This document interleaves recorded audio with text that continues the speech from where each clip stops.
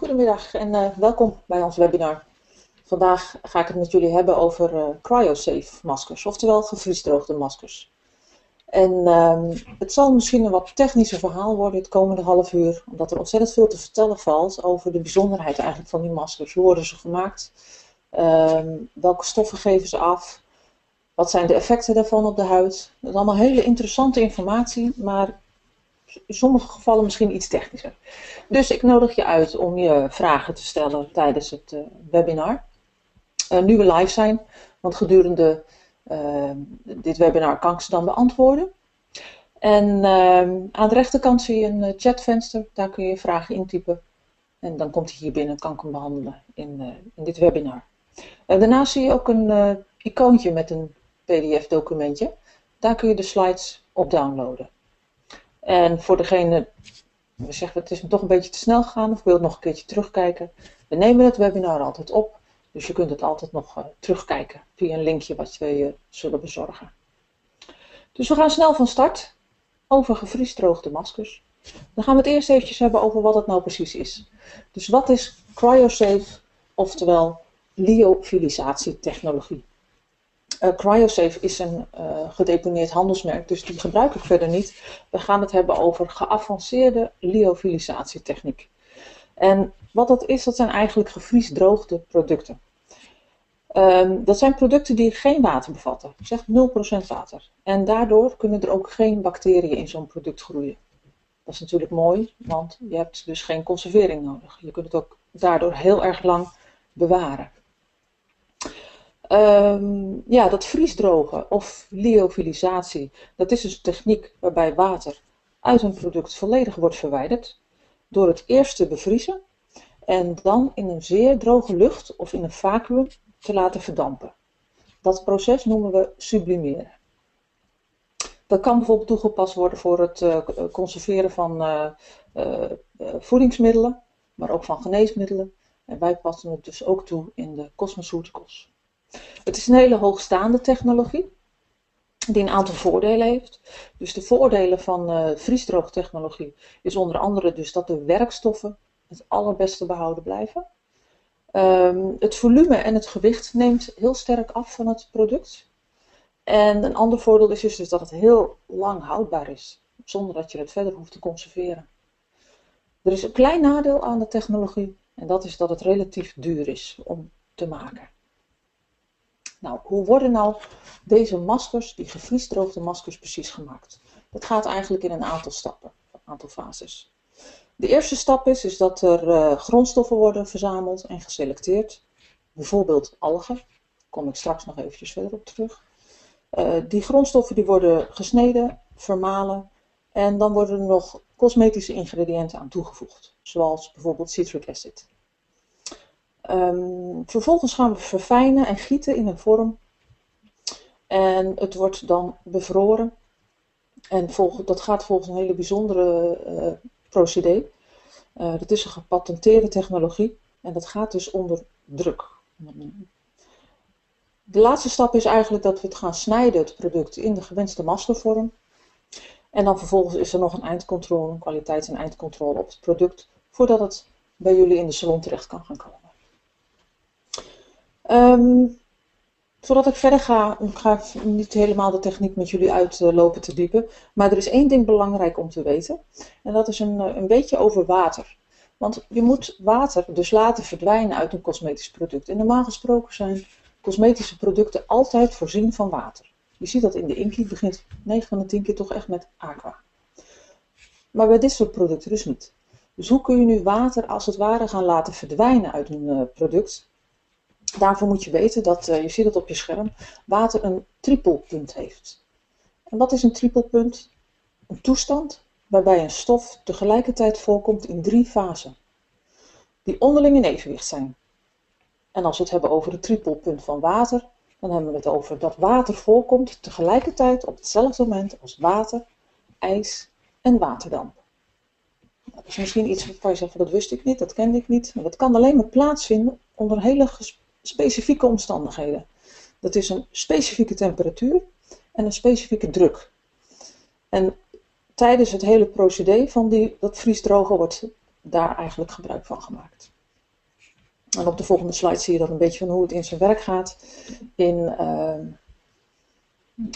in, in, het, in het lab, zou je kunnen zeggen, in de productie. dus we zien er eigenlijk de verschillende fasen van mengen, van snijden, van het onder druk zetten. en uiteindelijk komt daar dus de vorm die we erin gaan maken van de maskers. Eventjes kijken, want ik zie mijn eigen computer met mijn slides, die loopt heel eventjes vast. Dus ik moet hem eventjes opnieuw opstarten, mijn presentatie. Anders kan ik niet zien wat jullie zien. Even kijken. Als we doorgaan alvast naar de volgende slide, dan zien we dat uh, de werkstoffen in de Mar-matrix maskers, want daar hebben we het uiteindelijk over, de gevriesdroogde maskers, die noemen wij de Mar-matrix maskers dan uh, hebben wij het over algen. En welke soorten algen zitten daar nou in? Dan hebben we het over de uh, bruine alg, over de rode alg en de groene alg. De Latijnse benaming, de bruine alg, dat is de Laminara, Laminaria digitata. De rode alg, de Rhodophycea. En de groene alg, de Ulva species. Dus dat zijn stoffen die in die maskers verwerkt zitten. Als we dan kijken naar de totale samenstelling van die matrix maskers, dan zijn daar dus nog buiten die nog een aantal cosmetische ingrediënten aan toegevoegd. En als we het dan hebben over de overige componenten, hebben we het voornamelijk over natrium en calciumionen, glycerol, sorbitol, triglyceride, nou dat zijn de huideigen vetzuren zoals jullie wellicht weten, en citric acid. Nou, nu is het zo dat natrium, want daar gaan we straks wat dieper op in. Natrium is in het lichaam een van de elektrolyten, naast kalium-ionen en chloride-ionen. Ehm, en die helpt om de balans tussen het vocht in en buiten de cellen uh, te handhaven. En dat gebeurt door middel van osmose. Onthoud die term, daar ga ik straks nog iets over vertellen. Mijn eerste vraag is eigenlijk, ik heb het net gehad over de calciumionen. Ja, ook over natriumionen, maar voornamelijk calciumionen. Maar wat zijn nou ionen? Dus we starten een uh, poll in. En je mag hier eventjes over uh, nadenken. Poll, wat zijn ionen? Zijn dat metaaldeeltjes? Zijn dat gasdeeltjes? Zijn dat geladen deeltjes? Of zijn dat chemische verbindingen? Klik op uh, het antwoord waarvan je denkt dat dat overeenkomt en uh, dan gaan we eventjes kijken wat de uitslag straks is. Even zien of er al antwoorden binnenkomen. Ja, antwoorden rollen binnen. Voor degenen die het nog niet hebben aangeklikt, selecteer maar wat. Je wordt er niet op afgerekend, het maakt ook niet uit verder. Het gaat erom dat we straks verder kunnen uitleggen wat het precies is. Nou, Um, Zo'n 92% eh, zegt het zijn geladen deeltjes en 8% zegt het zijn chemische verbindingen. Nou, dat is helemaal goed. Ionen, dat zijn geladen deeltjes. En dat kan metaalionen zijn, maar dat kunnen ook gasionen bijvoorbeeld zijn. Dus helemaal goed. Over die ionenuitwisseling gaan we het zo nog wat verder hebben. Um, maar dan gaan we even kijken naar de kenmerken van die matrixmaskers. Wat doen die maskers? Ze zijn eigenlijk in een driedimensionale vorm. We noemen dat een matrix. En die matrix die geeft ionen af. En dat is een afleversysteem. Uh, dus laat ik zeggen, de matrix is een afleversysteem van zowel hoog moleculair materiaal, zoals de bruine algen, maar ook van laag moleculair materiaal, zoals die mineralen met ionenstructuren. Nou, wat interessant is, is om te weten is dat het gaat om zeer grote hoeveelheden voor de huid. tijdens het aanbrengen worden alle oplosbare ionen vrijgegeven. En dat is 240 milligram per gezichtsmasker. Dus voor dit masker is dat 240 milligram. En uh, dat komt over, overeen met 2,5 milligram ionen. Oftewel 1 miljoen calciumatomen per huidcel. Dus elke keer als je het masker opbrengt, gaan er maar liefst uh, eh, 1 miljoen calciumatomen elke huidcel in. Dus dat is mooi om te weten. Nou, voordat de maskers worden geactiveerd, zijn die ionen opgeslagen in het masker. En pas als je de activator toevoegt, dan worden ze vrijgegeven. Ehm, er is een aantal ionen wat heel snel de huid penetreert, wat heel snel door de huid gaat. En het is zo dat na verloop van tijd er nog meer ionen vrijkomen die uh, minder diep gaan penetreren. Dus de reden dat het masker toch zeker 20 minuten moet inwerken, is dat eigenlijk zo lang de afgifte van die ionen is. Maar in eerste instantie komt er eigenlijk echt een shot op de huid, wat heel diep gaat. En daarna wordt ook de oppervlakte van de huid verzadigd met ionen. Waarvoor heeft het nou eigenlijk zijn effect op de huid? Want het is natuurlijk leuk om te weten dat er allemaal heel veel ionen worden afgegeven. Maar wat heeft het voor uh, werking? Eigenlijk kunnen we die opsplitsen naar vier grote delen. De eerste is het calciumverloop. Nummer twee, dan hebben we het over desmosomen. Nummer drie is aquaporines, die we gaan beïnvloeden. En nummer vier is het beïnvloeden van de metabolisme en de celactiviteit. Dat zijn alweer misschien een heleboel moeilijke woorden bij elkaar. Dus ik ga jullie een volgende vraag stellen. En we gaan de poll instarten over wat zijn desmosomen. Ik ga het straks natuurlijk uitleggen, maar ik ben benieuwd of jullie weten wat desmosomen ongeveer zijn. Zijn dat waterkanaaltjes in de huid? Of is dat het klittenband tussen cellen? Of zijn desmosomen de chromosomen die een rol spelen bij huidveroudering? Of zijn het huidaandoeningen? Eens kijken of iedereen zo'n beetje heeft gestemd. Er komen nog een paar veranderingen. Hmm, verandert nog iets. Um, het is hier een mooie mix, zou kunnen zeggen, van antwoorden. Het is zo dat uh, een 25% ongeveer zegt, dat zijn de waterkanaaltjes in de huid. Dan is een 45% wat ik ervan kan zien, die zegt het is klittenband tussen cellen. En het overige, meer dan 30% zegt, het zijn de chromosomen die een rol spelen bij huidveroudering. Nou, wat zijn desmosomen? Het, zijn, het is het klittenband tussen de cellen. Daar ga ik straks op in, maar ik ga het eerst eventjes met jullie hebben over die nummer 1, het calciumverloop in de huid. Het calciumverloop in de huid, uh, hier zie je een foto eigenlijk van uh, een vrouw van 13 aan de linkerkant en een vrouw van 70. En wat we daar zien is dat er op 13 jaar een heel duidelijk calciumverloop is uh, in hoge concentraties in het stratum granulosum, oftewel de korrelaag, de opperhuid. Dus op jonge leeftijd zitten er uh, heel mooi uh, gelijkmatige hoeveelheden, grote hoeveelheden van calcium in de korrelaag. Als we dan kijken eigenlijk op de foto ernaast, de vrouw van 70 jaar, zie je eigenlijk een totaal ander beeld. Um, het is eigenlijk veel diffuser en dat hele calciumverloop is niet meer zo goed terug te vinden. Dus op het moment dat we het calciumverloop in de opperhuid positief kunnen beïnvloeden, dan zal een huid zich jonger gaan gedragen. Dus die calciumionen hebben een direct effect, zou je kunnen zeggen, op het verjongen van het gedragen van de huid. De tweede werking, waar we het net over hadden, dat is dus die van de desmosomen, waar de pol net over ging. Um, het klittenband tussen de cellen. Dus desmosomen zitten eigenlijk, uh, dat zijn een soort lijmstructuren op de membranen, dus op de plasmamembranen van de cel. En daarvoor, of die zorgen er eigenlijk voor dat de cellen tegen elkaar kunnen klitten. Dus het is een soort cel-aan-cel verlijming.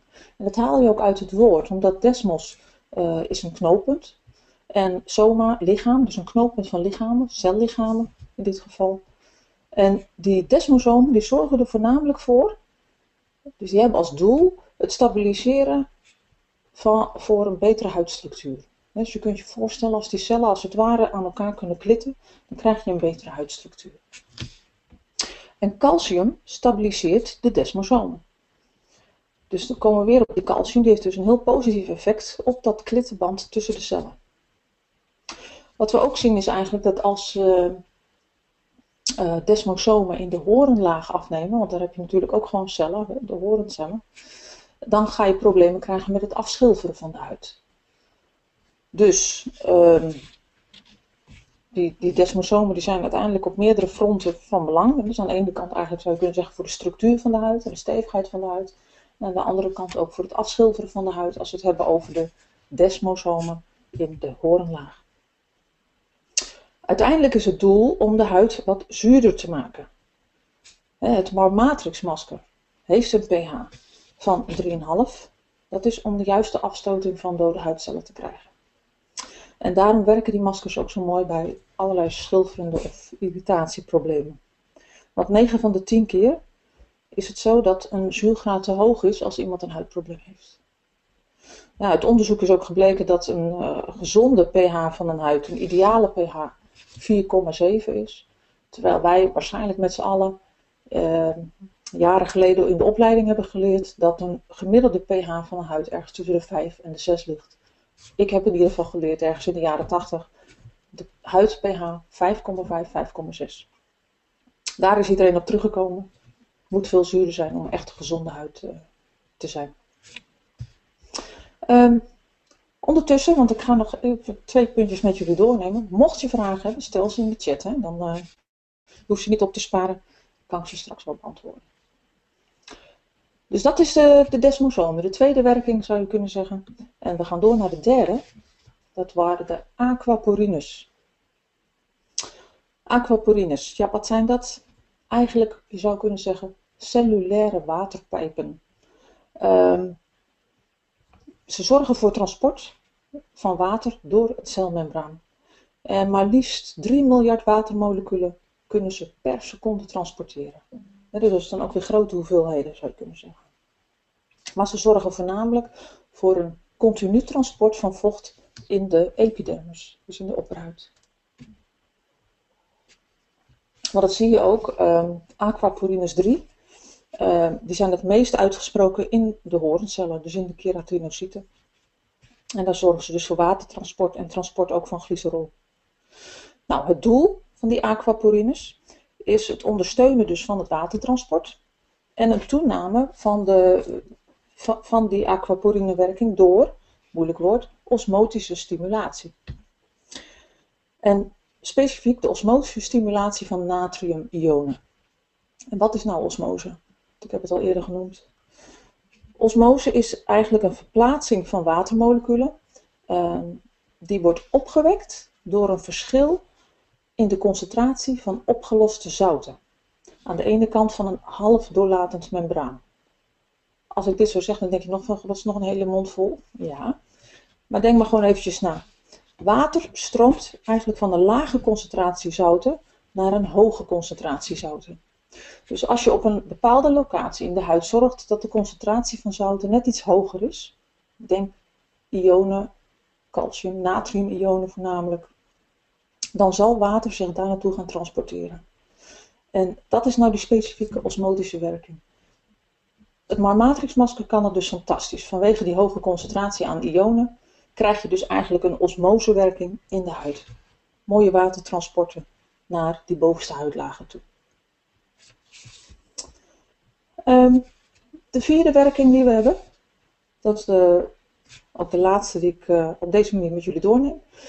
De vierde werking is het metabolisme en de activiteit van de cellen. Oftewel, de celstofwisseling kunnen beïnvloeden.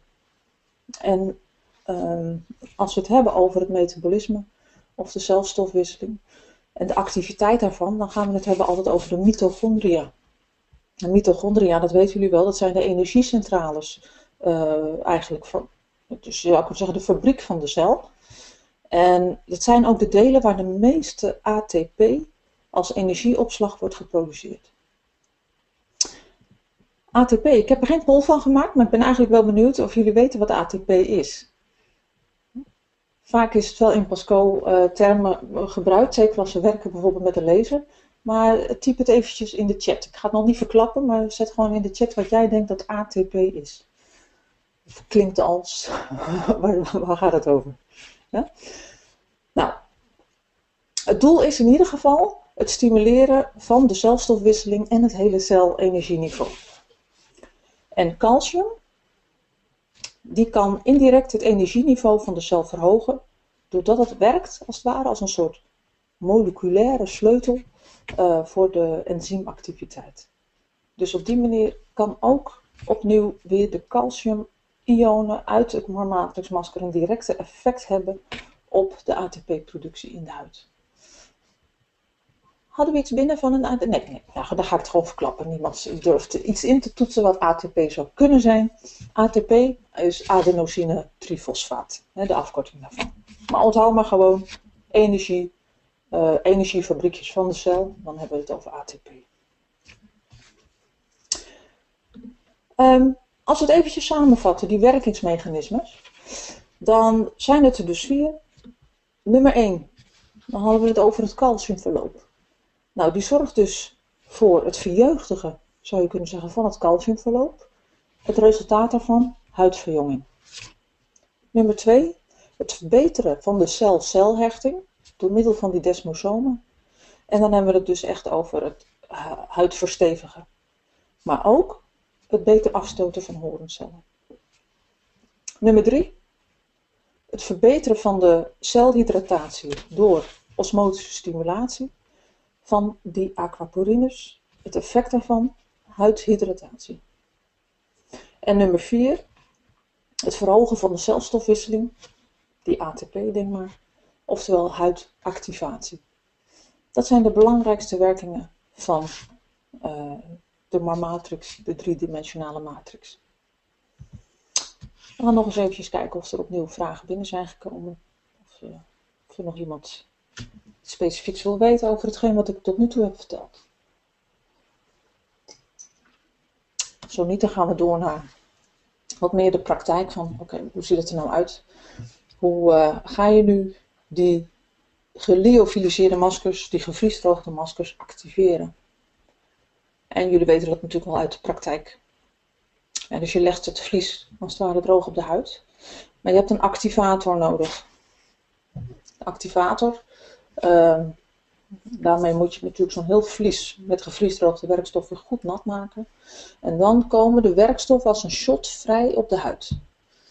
Dus de eerste minuten nadat je dat hebt gedaan, komen de kleinste ionen heel diep in de huid. En dan werkt het door gedurende 20 minuten. Uh, dus die 20 minuten is nodig om tot een maximale afgifte te komen van maar liefst 1 miljoen calciumatomen per cel. Um, dus denk ook niet bij het matrixmasker van ik leg het even twee minuutjes op. Het heeft altijd een effect, want je hebt in ieder geval die shot gehad, maar het moet er echt het liefst gewoon die 20 minuten op liggen. Um, in de activator zelf, dus in de vloeistof die je gebruikt, daar zitten natuurlijk ook nog werkstoffen in. Uh, voornamelijk maritieme extracten. Dus in de activator zit het uh, Tripleurospermum maritima extract, plankton extract. En dat zorgt er uiteindelijk allemaal voor dat, uh, dat dat masker optimaal vochtig blijft gedurende die 20 minuten. En dat er nog extra maritieme werkstoffen naar die huid kunnen. We hebben natuurlijk verschillende vormen van het masker. drie vormen. Eentje is voor de hals. Eentje is voor het gezicht. Dus deze is voor de hals, zoals jullie wellicht weten. Bestaat uit twee delen. De gezichtsvorm, twee helftjes. En dan hebben we natuurlijk de oogvorm. Het oogmasker, deze. Die je zowel in de salon als uh, voor thuis kunt laten gebruiken. En waarom? Dit is praktisch nog te doen voor de klant. Maar laat je met zo'n heel gezichtmasker, dat, dat gaat er niet worden voor thuis. Dat is technisch te ingewikkeld. Typisch iets eigenlijk om in het instituut te doen. Als je niet het hele gezicht uh, kunt doen bij de klant of wilt doen, dan kun je zeker ook alleen bijvoorbeeld de oogcontouren adviseren in de behandeling of alleen de hals. Je kunt het natuurlijk combineren, maar je kunt ook gewoon kiezen voor een van de vormen. Um, het is ook belangrijk om het echt toe te passen in je behandeling, want het is de enige manier om de klant uit te leggen hoe ze het ook thuis kunnen gebruiken. Dus op het moment dat je het opbrengt, zo'n oogmasker in je salon, kun je meteen ook uitleggen hoe ze de klant het thuis gaan gebruiken en wat de voordelen daarvan zijn. Het halsmasker kennen jullie nu als die twee afzonderlijke delen. Binnenkort, en dat zeg ik van, in de loop van dit voorjaar, gaan we naar een nieuwe vorm. Ik heb hem hier al als primeur, zodat jullie kunnen zien. Dit wordt een nieuwe maskervorm. Dus het wordt één shape die je gewoon eigenlijk zo in één keer op de hals legt. Ja? Maar die gaat komen. Ehm, ik zie dat er nog geen vragen opnieuw eh, binnen zijn gekomen. Dus dan ga ik langzaam toch al het webinar afsluiten. Het is wel zo dat als je nog vragen hebt over dit wat technische verhaal, je mag ze altijd natuurlijk op mail zetten. We zullen ze zo snel mogelijk voor je beantwoorden. En nogmaals, je kunt het webinar altijd terugkijken om nog eens eventjes iets extra's te weten over, uh, over een onderwerp waar ik misschien nu wat snel overheen ben geweest. Dus ik sluit af, af met uh, een slogan, zou je kunnen zeggen, een quote. Healthy hydrated cells are the key to ageless skin and healthy body.